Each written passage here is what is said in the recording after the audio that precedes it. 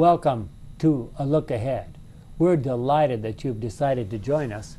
Perhaps you know by now that we are studying the Sabbath school lessons as prepared by the Seventh day Adventist Church for the months of July, August, and September of the year 2014.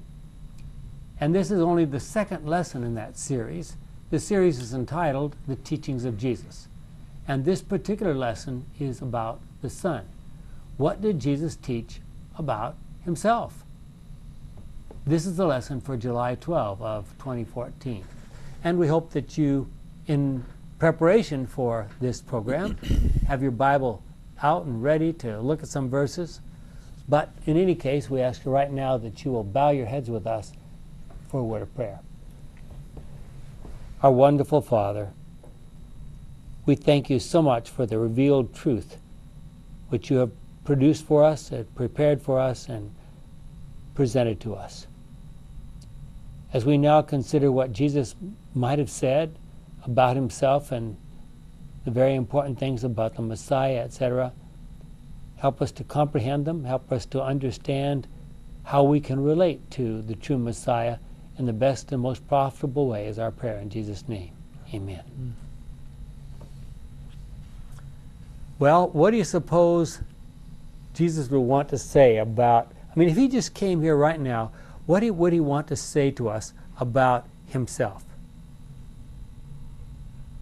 Himself the human or himself the God? Well, what about both? So, this lesson, we're going to talk about the humanity of Jesus. We're going to talk about the divinity of Jesus. Ooh, that's are, are those pretty things, heavy stuff. yeah, is those things is that a contradiction in terms? what did he say and imply about himself? If you remember, as Jesus' ministry sort of started to wind down, about this is to be about eight or nine months before crucifixion is going to happen. He took his disciples with him, and he took them for a big old circuit way outside of Judah, up into uh, Tyre and Sidon, and then back down maybe into Galilee just briefly, and then back out up into the north of toward Mount Hermon to an area known as Caesarea Philippi. And what do we know about Caesarea Philippi? It was a pagan Roman, in those days, Greek Roman kind of city. And there were, the place was littered with, and it's still, I, I was there last summer. There are pagan statues to pagan gods and temples to assorted pagan gods all over the place. And I'm sure Jesus probably took his disciples there and sort of let them wander around a little bit. And then he, he, he said, Okay, who do people say that I am? Am I like one of these pagan idols sitting here? Would I fit in one of these beautiful temples that's been built here? Seems to me he would ask us the same question even now. Oh, really? Amazing. Our idols probably more than they had. So, what did Jesus say then to Peter and to the other disciples? Okay, so now who do you say I am? And what was Peter's response? You are the Christ. You are the Christ. You are the Messiah. Christ in Greek is equal to Messiah in, in, in Hebrew. You are the Messiah, the Son of the living God. If only he had really comprehended that and followed through, what a different story we would have. But, you know, he says it was God the Father, apparently, that inspired Peter to say those words because they needed to be said. Well, Jesus used a very interesting term to describe himself. What was Jesus' most common way of describing himself, in, in, at least in the writings that we have? Remember? Often used the words Son of Man. The Son of Man, yeah. And nobody else ever called him the Son of Man. Why did he call himself the Son of Man? It's found 80 times in the four Gospels. 80 times. Why did he use it so frequently? Because the Son of God, the Son of Men were both right. okay, we're going to get to the Son of God in a moment. Why did Jesus want us to know, in fact, that he was. Now, in Hebrew and Aramaic, which the New Testament, of course, is written in what language? Greek. In Greek. But Jesus was talking and his friends were listening in Aramaic, okay, which is closely related to Hebrew. And in those languages, when you say Son of Man, what are you really saying? You know? Of the people, isn't it? He's on the same level in that sense. Well, Son of Man really is another way for saying human being. Okay? If you say Son of God, that's another way of saying a divine being or a person closely related to God anyway.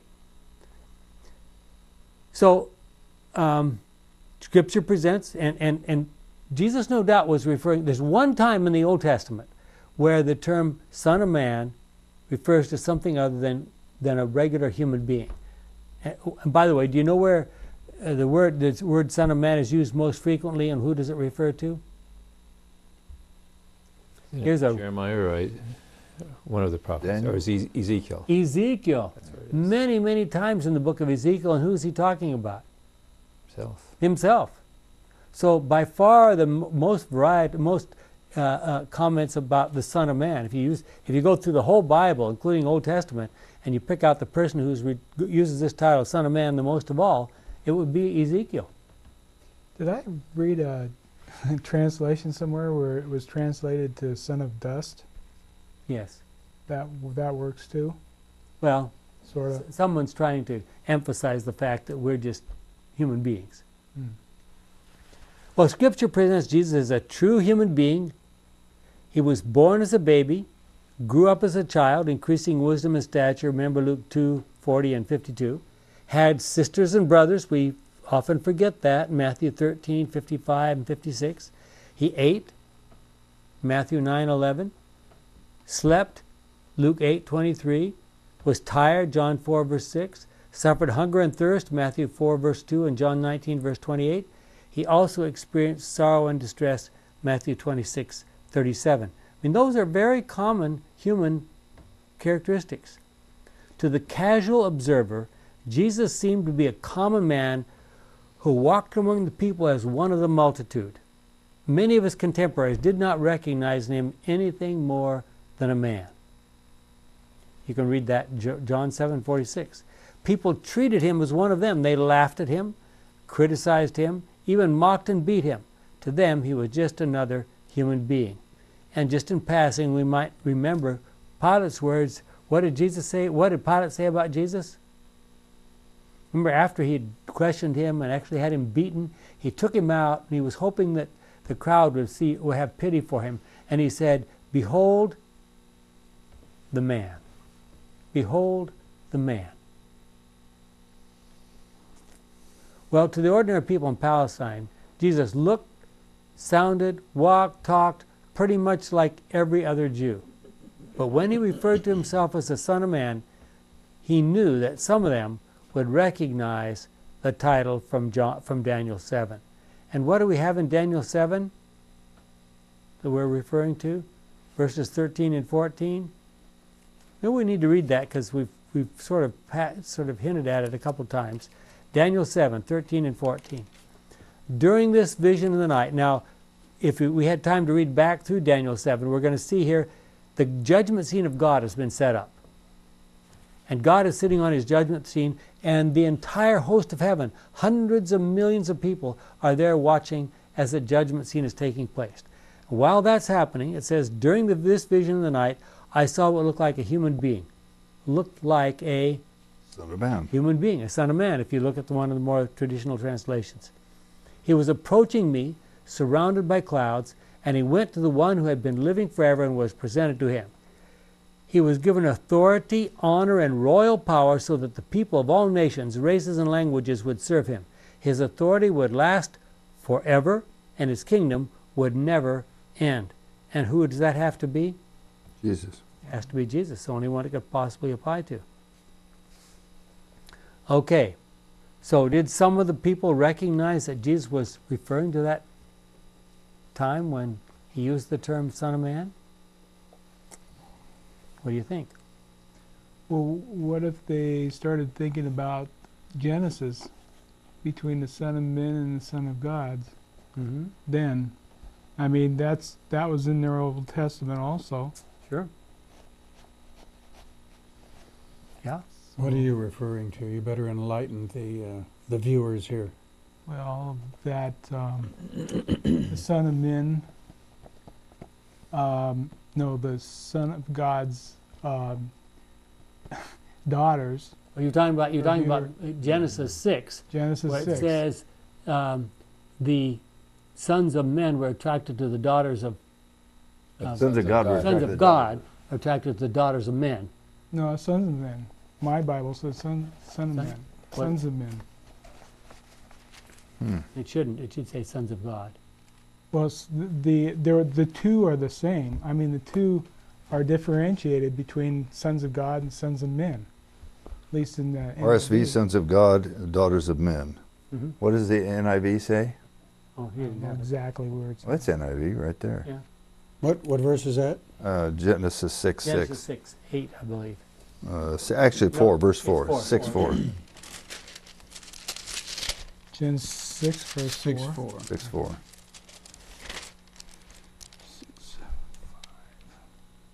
Read it out loud, so we can get Uh, yourself corrected in public here. Um, The trying to Nephilim. find the point I'm looking for. Verse four. verse 4. Uh, What is it? of, of 6. yeah. Yeah, 6, verse 4. The, the Neph- Nephilim. Nephilim. Nephilim were on the earth in those days, and also afterward, when the sons of God went to the daughters of men hmm and had children by them. Yeah. Yeah. Now, Ellen, that. for, for, for all you Adventists who take Ellen White seriously, she says that this passage, when referring to the sons of God, is talking about the descendants of Seth, and the daughters of men is talking about daughters who are descendants of Cain.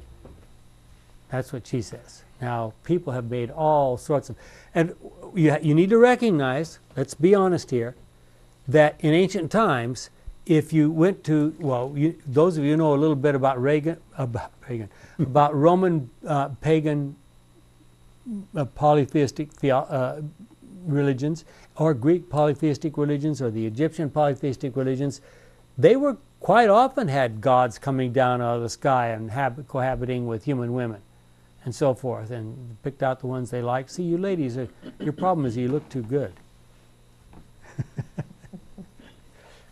So um, yeah, there, there's a lot of that, and That, so that was the stories that were fabricated. yeah, That wasn't necessarily uh, actual Well- earthly biological. what yeah, A- and in fact, we have a good evidence that the angels can't reproduce. What evidence do we have? Two things we sh- we know about the angels not being able to reproduce. What are they? If Satan and his angels could reproduce, they would populate the whole Sure. world, the whole universe. If. Satan and his angels were able to reproduce, they w- Satan would have filled the universe full of his kids, if he could. He can't. He can't do something that every one of us can do. And it upsets him.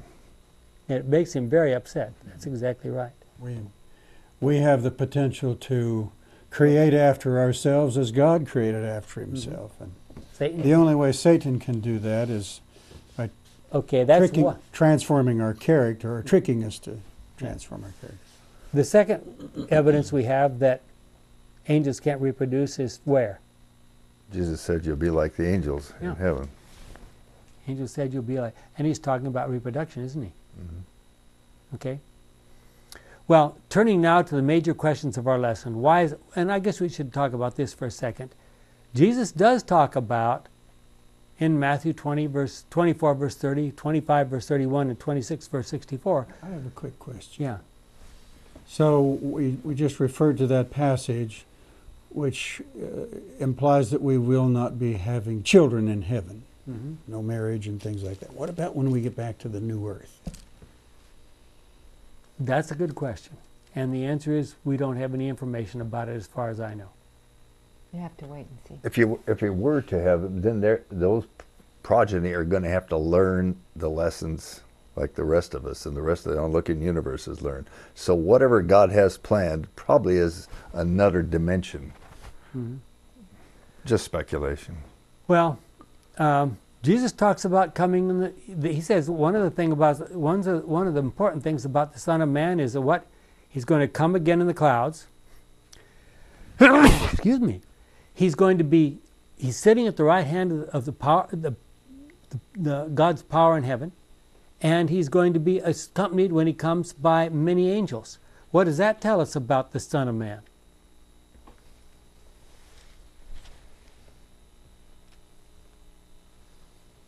This is talking about Jesus is saying he belongs uh, right alongside the Father, doesn't he? Mm-hmm.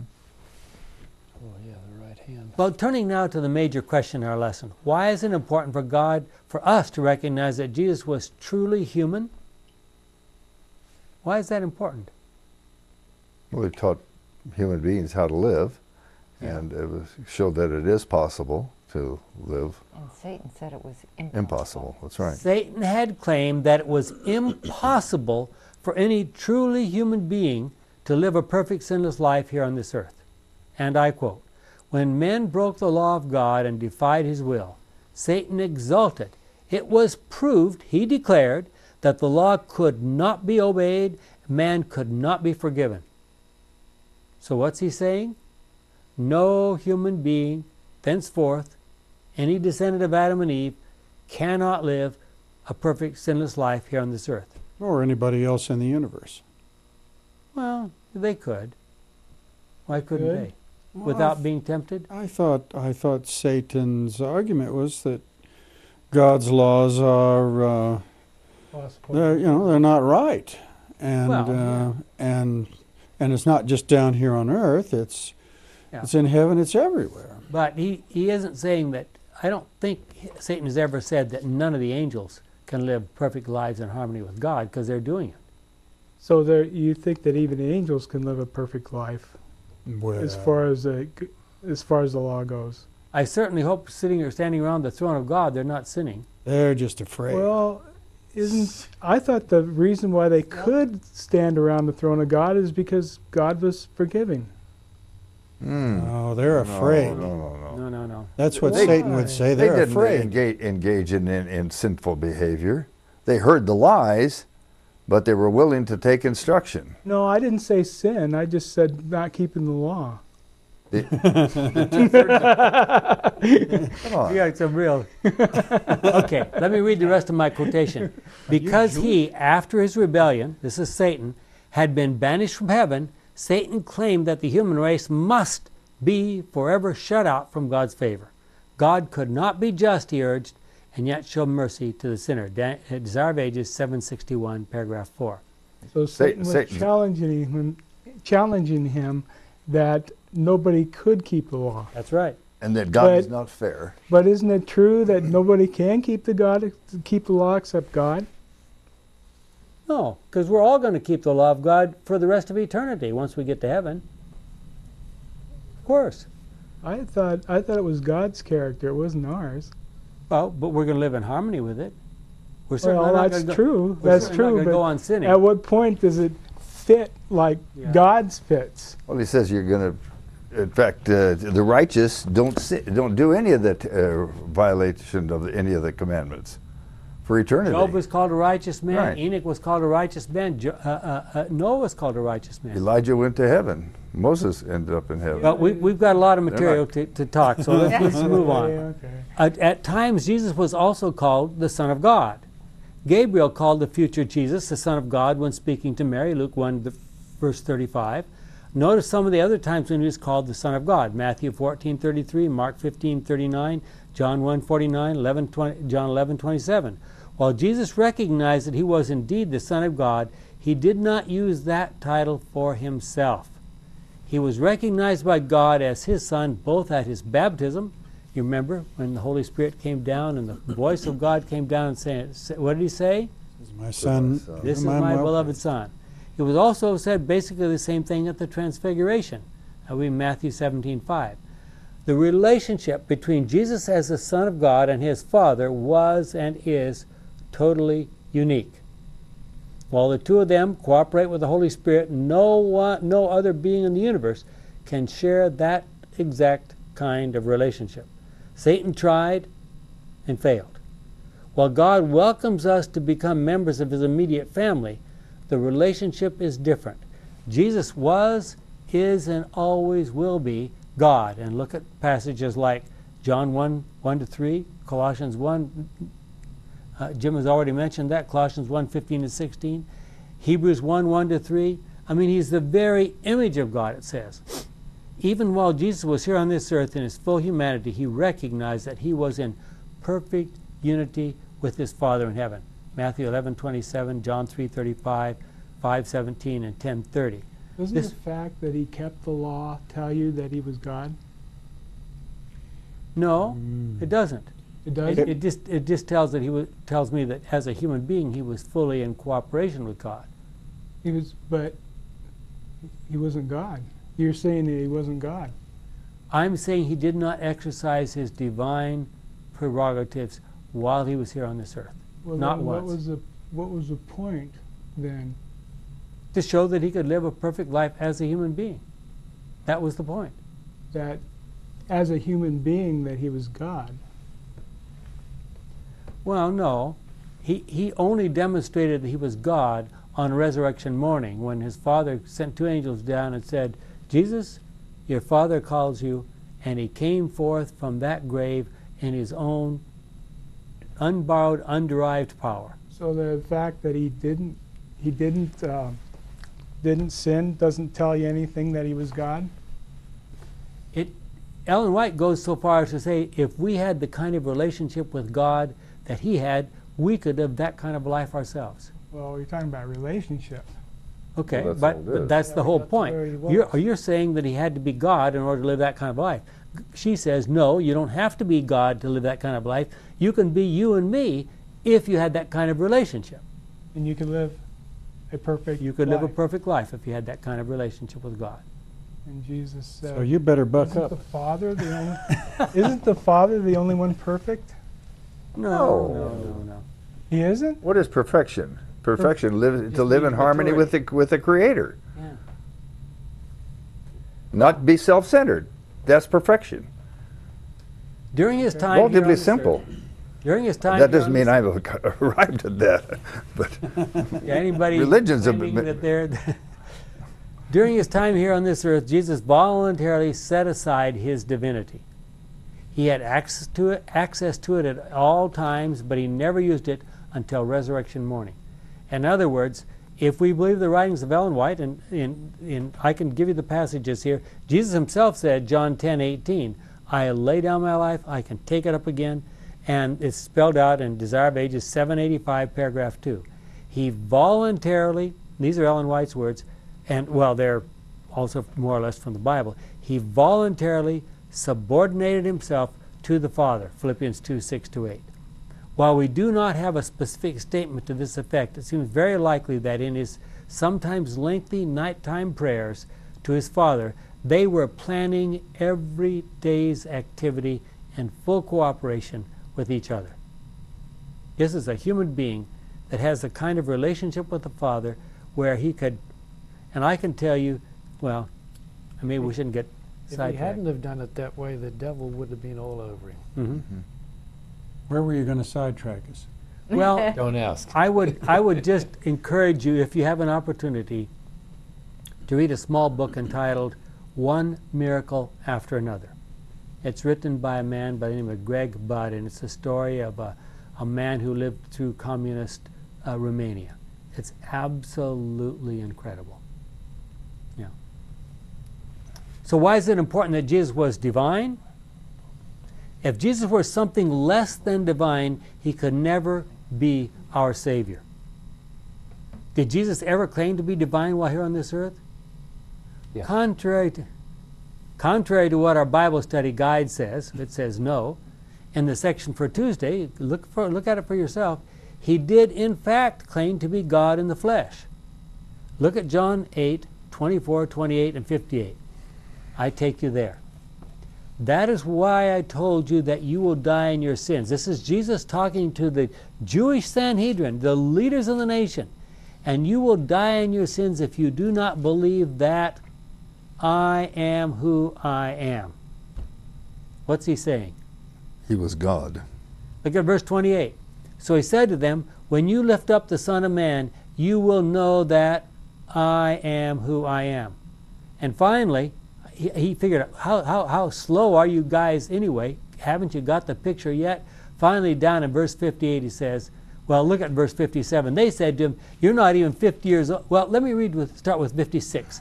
Your father Abraham rejoiced that he was to see the time of my coming. He saw it and was glad. They said to him, You're not even 50 years old, and you have seen Abraham? I'm telling you the truth, Jesus replied. Before Abraham was born, I am. And what was their response? Then they picked up stones to throw at him. Right there. But Jesus hid himself and left the temple. The incredible thing is, uh, just before that, a little while before that, he had said to a woman at the well of Sychar in Samaria, what did he say? Do you remember? Told her, I am the Messiah. Then the woman said to him, I know that the Messiah will come, and when he comes, he will tell us everything. Jesus answered, I am he. I am he. I who am talking with you. So, did he claim to be a Messiah? Yep. And what did this lady do? Did she try to take up stones and No. or Now, kill him? Did, did, tell sh- Elizabeth. did she, did she, was it her perception that the Messiah was, was God? Or was going Well, to no, be? no, no, no. they were looking for the Uh, yeah, let me interrupt with you. Because the, the quarterly says he never claimed to be either God or the Messiah. And so I demonstrated here in two passages he did claim to be God and he did claim to be the Messiah. And the difference is this when he claimed to be God in front of the Jewish Sanhedrin, they took up stones to kill him. When he claimed to be the Messiah before the woman of Samaria, what did she do?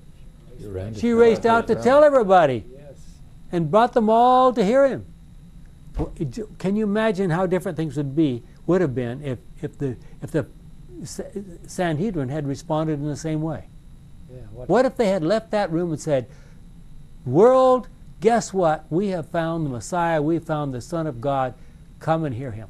what can we do to help you? Yeah. So why was it so hard for Jesus to explain the fact, or even to explain his relationship to the Father, or, or the fact that he was the Messiah? Why was that so hard? What was the what was the what was the limitation there? Presuppositions are real like a prison. Preconceived ideas.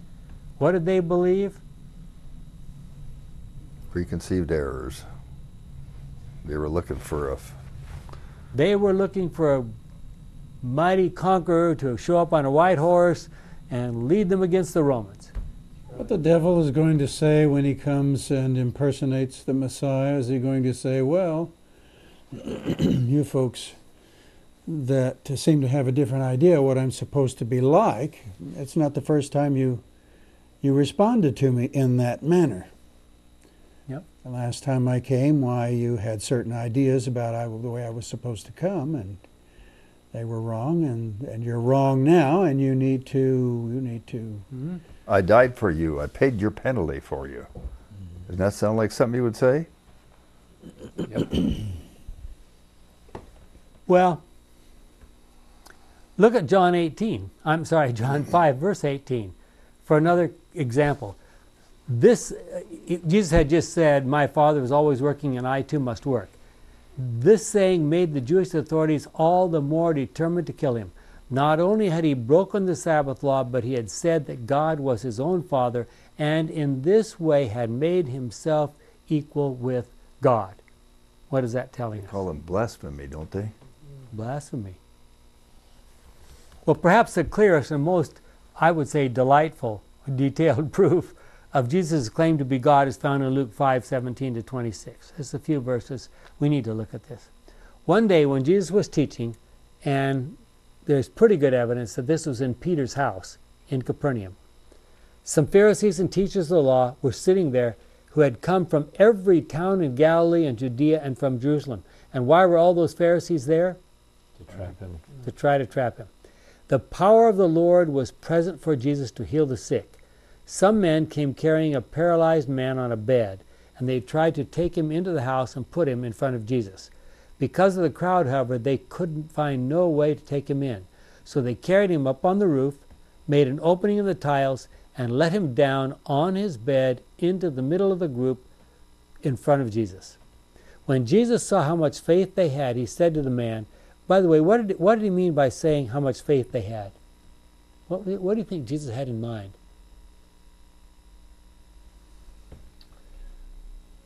Well, their actions showed what they believed. Yeah.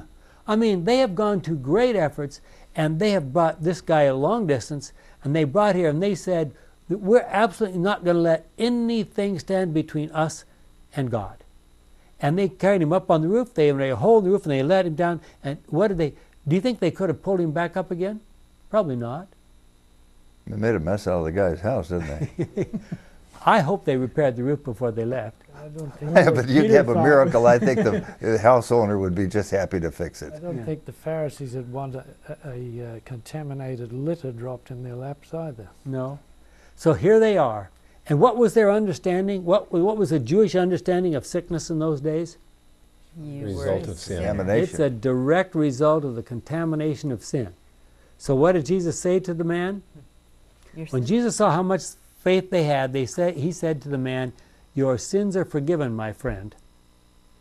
The teachers of the law and the Pharisees began to say to themselves, Who is this man who speaks such blasphemy? God is the only one who can forgive sins. And Jesus was just waiting for them to say that because what's he going to do next? Jesus knew their thoughts and said to them, Why do you think such things? Is it easier to say your sins are forgiven or to say get up and walk?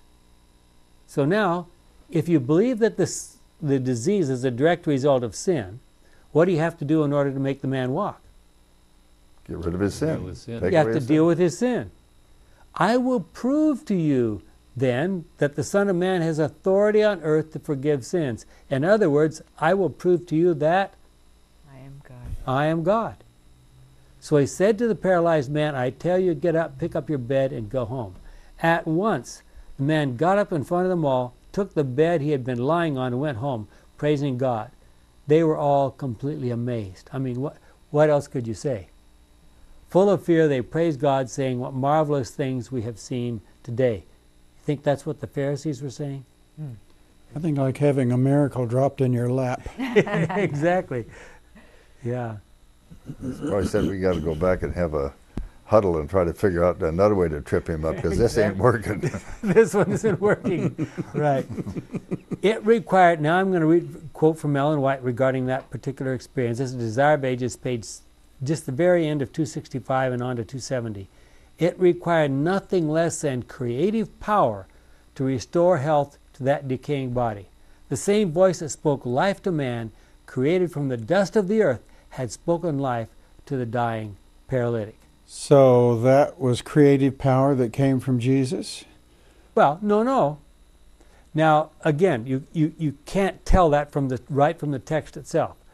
If you believe Ellen White's words, again, I'm saying if you believe Ellen White's words, which I absolutely do, she says that all of his miracles were done by his cooperation, and the Holy Spirit, the Father, came down and provided the power for those miracles. Jesus, you see, if you see, if Jesus had at any point used his own power, his own divine power, to perform miracles, to avoid sin, to chase Satan away, any of those kind of things, Satan would have said, well, he didn't prove that a human could live a perfect life because he, he cheated.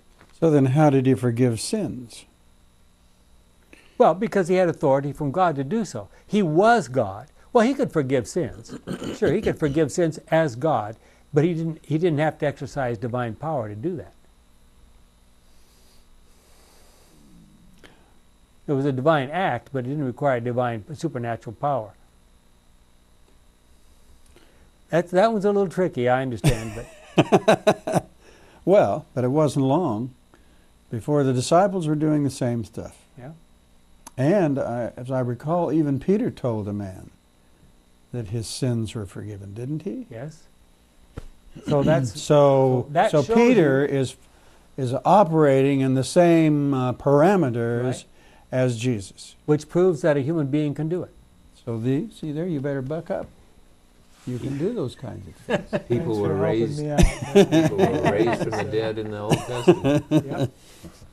well, Jesus rightly claimed the divine prerogative to forgive sins. At his trial, he stated that he would sit in judgment on the entire world.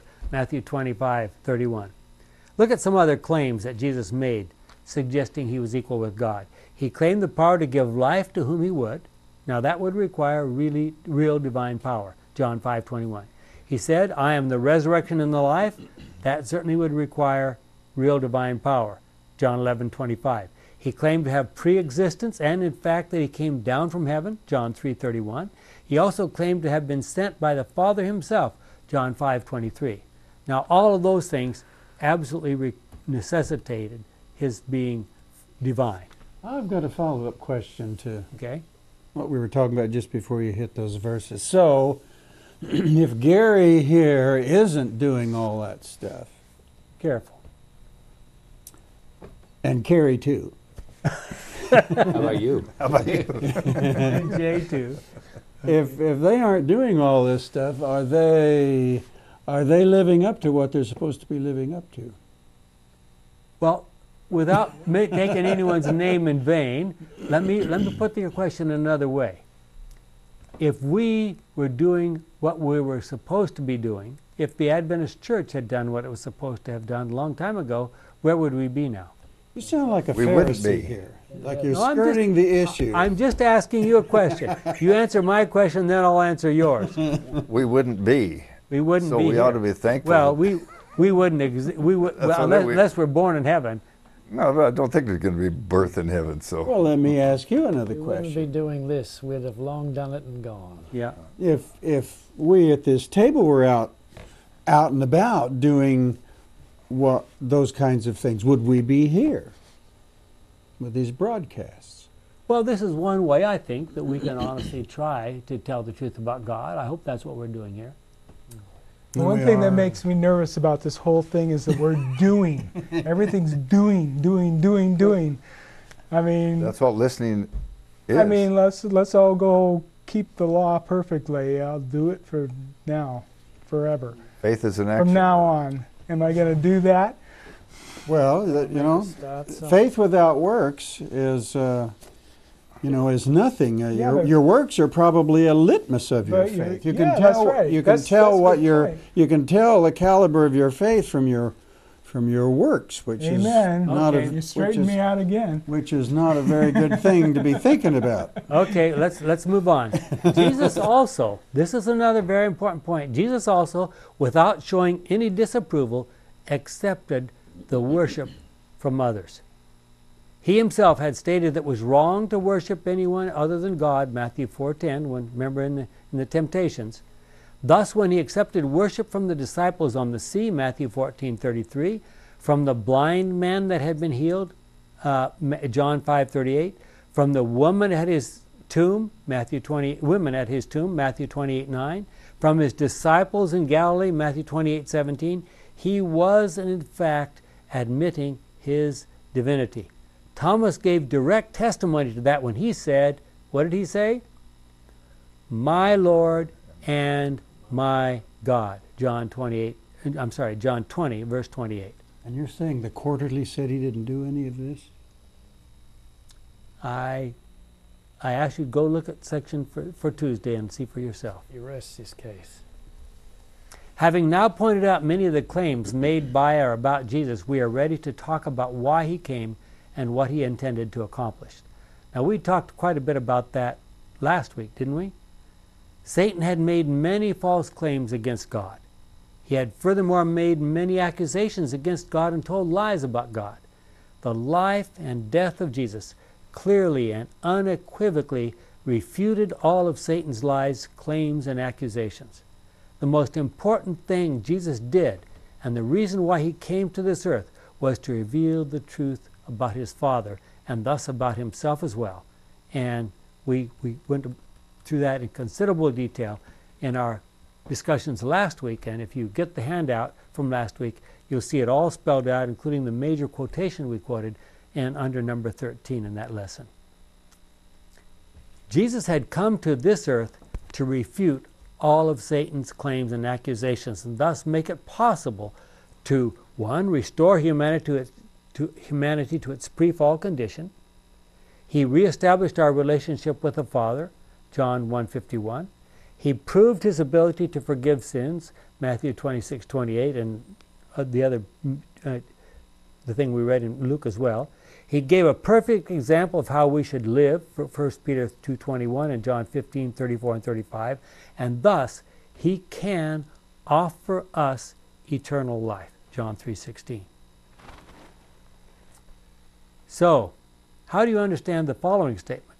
Now here's a statement, a statement directly from the quarterly, from the Bible study guide, and also a statement from Ellen White taken to, to support it. Why did Jesus have to die? It was because he voluntarily, voluntarily took our place and bore the punishment of our sin. We are all sinners, Romans 3 10 through 12 and 23, and as such deserve eternal death, Romans 6 23. The price for our salvation was so high that only the life of the Son of God was enough to pay for it. Sounds like a pagan concept.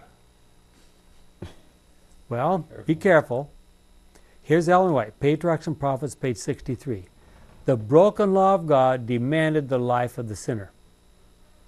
And uh, what, what does that mean? Yeah. What does that mean? Does it mean, like God said back at the very beginning, in the day that you sin, you will die? That's exactly what it means. In all the universe, there was but one who could, in behalf of man, satisfy its claims. Another way to say that, in my mind, is there's only one in all the universe who could correctly and fully represent the Father. Since the divine law is as sacred as God Himself, only one equal with God could make atonement for its transgression. Okay? Whatever that means. Someone like to explain that one to me? Since the divine law is as sacred as God Himself, only one equal with God could make atonement for its transgression. None but Christ, I'll read the rest of it. None but Christ could redeem fallen man from the curse of the law and bring him again into harmony with heaven. Patriarchs and Prophets, page 63. Harmony and at- one How does that happen? those are parallel. Yeah. Has to happen in the mind. Yeah. In the mind of the individual. The only way God can restore harmony is to convince us through indisputable evidence that He has told us the truth about God and we can trust God. That's the way I understand those. Well, for those who are still afraid of God and want a legal basis for their salvation, these statements are appropriate. So, who is that? Well, a good example would be Martin Luther. Do you remember the story of Martin Luther? What was his first first education? As a, What? as a lawyer for Yeah. the for the. Uh, He had full training as a lawyer, and his parents thought he was going to go out and get a good job and support them, and everything's going to be great. And what did he do? Became a monk. He was a monk for a considerable period of time. Then he got his theological education, and then he started preaching, and finally he discovered the truth in the Bible, and he went out. But he had he was absolutely fixated on what? One thing. legal problem.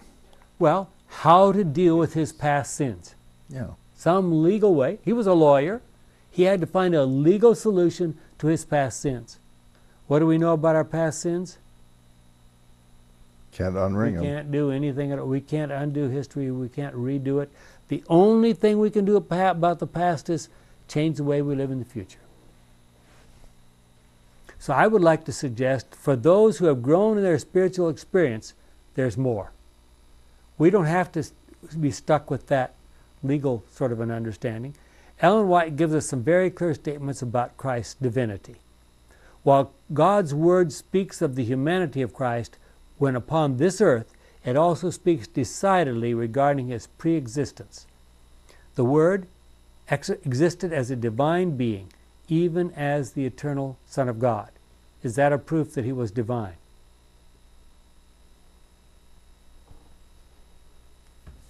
I didn't think that was a complicated question. I would think it is. Yeah, Exactly. In union and oneness with his Father. The world was made by him, and without him was not anything made that was made. What, how does, what kind of relationship does that show that he has with everybody else and everything else? Can something that's created be greater than its creator? No. I'm trying to see where you came up with proof. Isn't this kind of a Proof of what? belief? Hmm? You said you said doesn't this give us proof? That, what, that Christ is divine? Yeah. Yeah. So I'm saying if he existed before everything, he created everything, he lived with the Father before this world was created, what does that make him? Well, and logic logic brings you to that point, but it's not really proof, is it? I hope so. If Christ made all things, he existed before all things. These are Ellen White's words. The words spoken in regard to this are so decisive that one, no one need be left in doubt. Christ was God essentially and in the highest sense. He was with God from all eternity, God over all, blessed forevermore.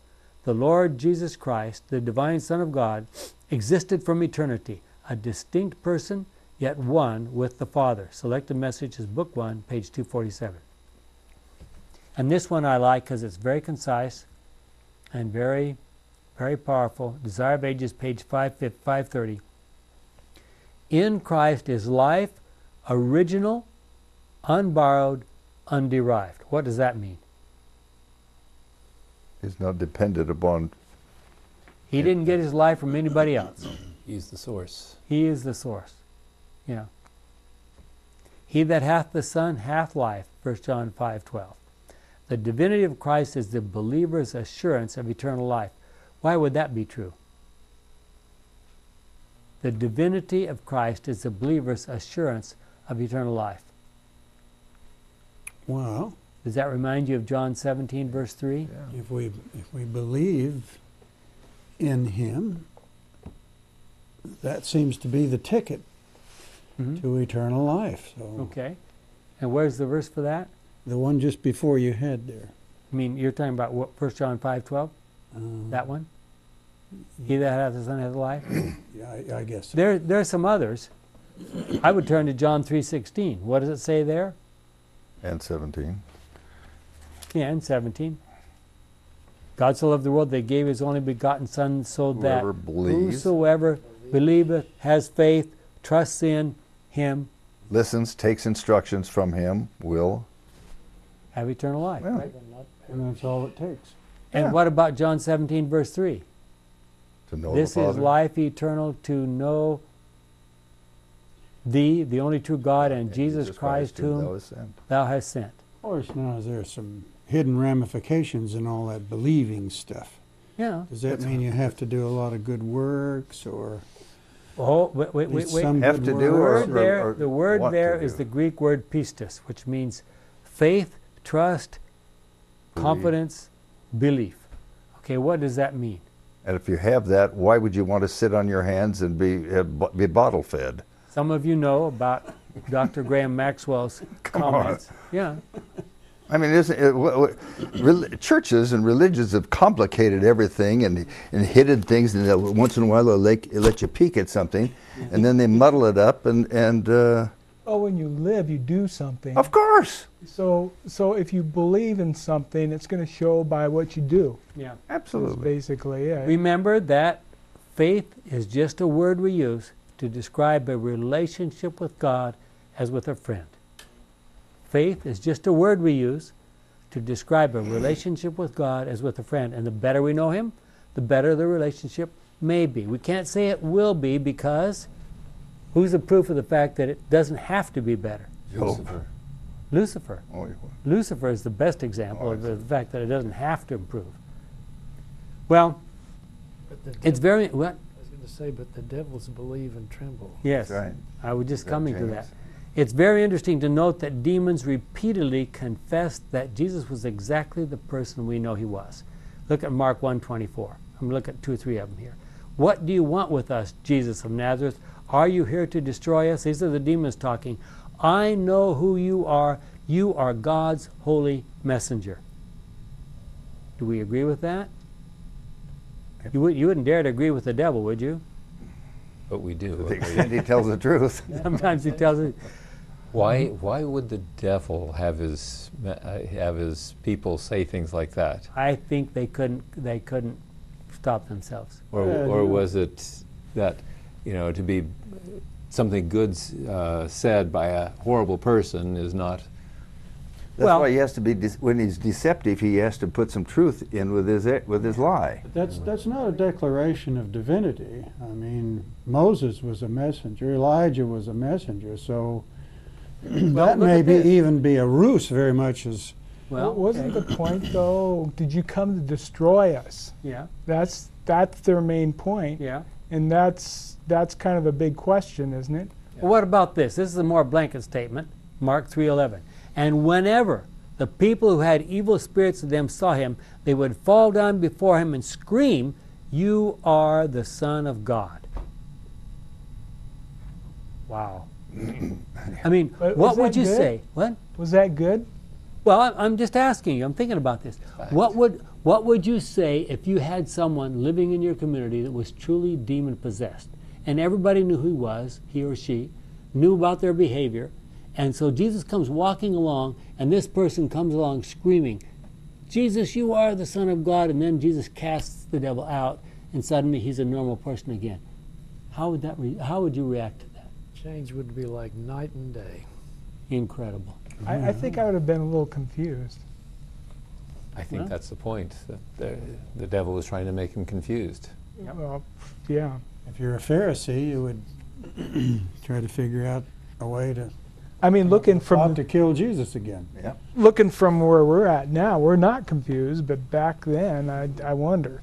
Okay, look at Mark 5, verses 7 and 8.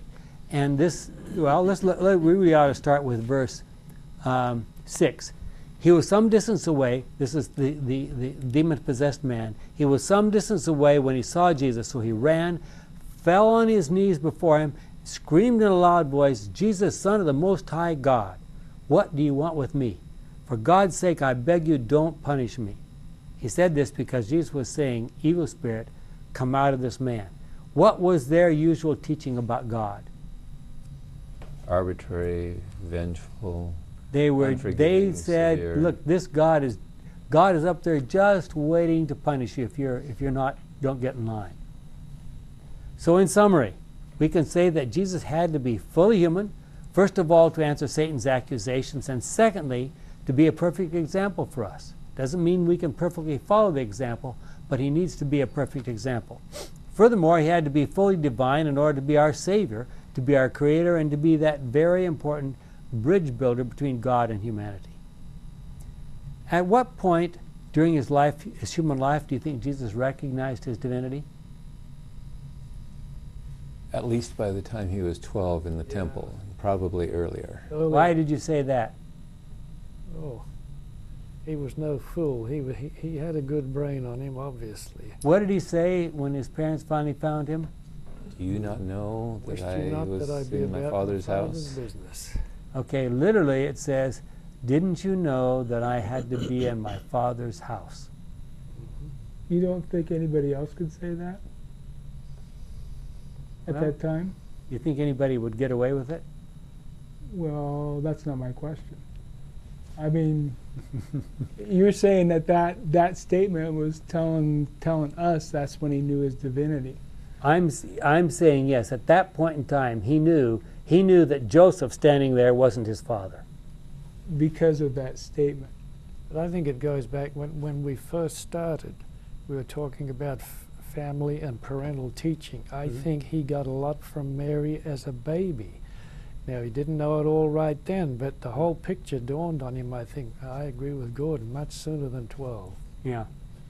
Well, Christian scholars and theologians have struggled with this idea that God was Jesus was fully God and fully human almost from the point where he left this earth.